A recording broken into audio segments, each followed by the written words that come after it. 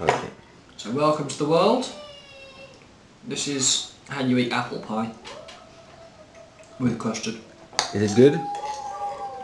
It's delicious, as you should know, having wolf jaws down in under 10 seconds.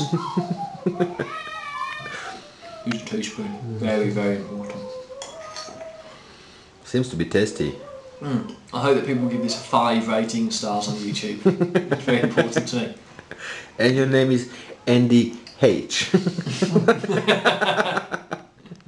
and my address is